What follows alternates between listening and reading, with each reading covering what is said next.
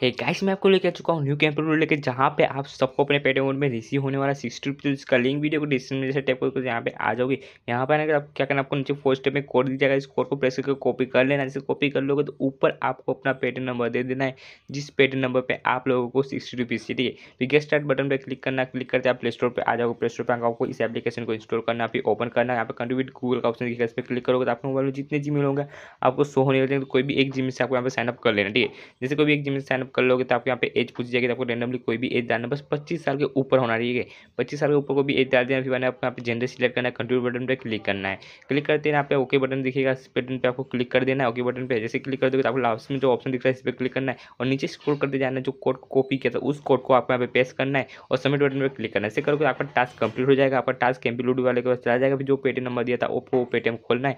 जैसे खोलोगे तो आपको पर दिख जाएगा आपको सिक्सटी रुपीज़ रिसीव हो चुका होगा, कहाँ से कैम्पी लूट की तरफ़ से।